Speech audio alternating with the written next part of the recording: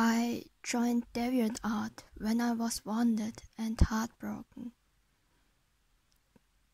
At this time, I haven't found something I wanted to live for.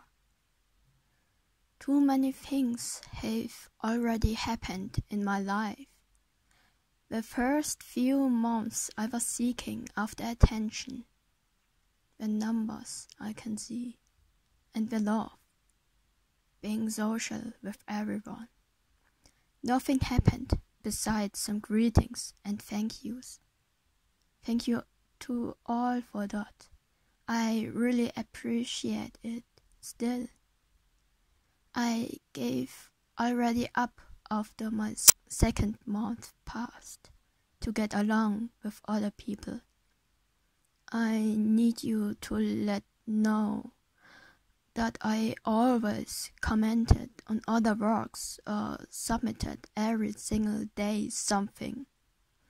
Suddenly, after months, or only the two months later, I don't know anymore honestly. I got feedback and came in contact with two very special people for me. Those two nearly always commented on my pictures. It, it, it made me so happy. Of course, I wasn't only in tears after reading this, but also I blushed because it was the first time that people complimented me for what I was drawing and writing down. In school, I only made other people angry or disappointed with that. Also, I wasn't as good as today, so I was afraid that my work pieces were ugly and would make other people angry or dis disappointed again. I understand why my teacher were mad at me for drawing in class, but not the other people. They weren't even jealous.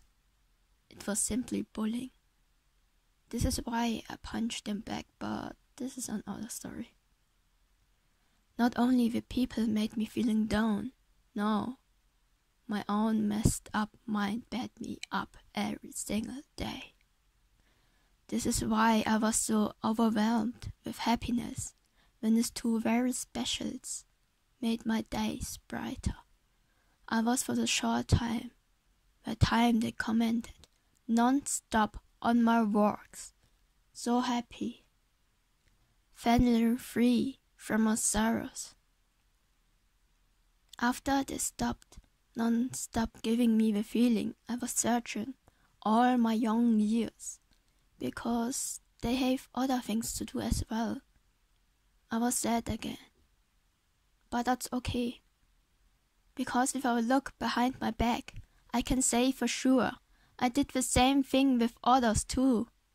At the moment, for an example, I comment on nearly all the work pieces from Puswi because he's a good friend of mine, has been gone to all the various shit in his life, and still misses some noses out in his drawings.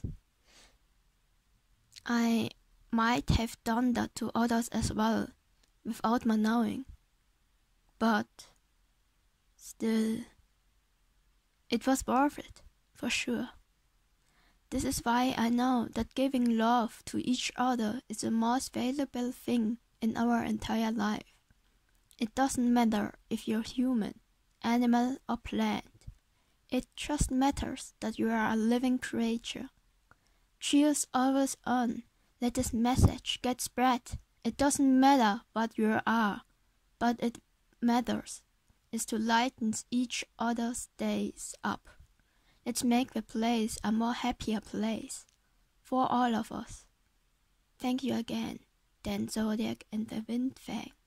Thank you for such a great time.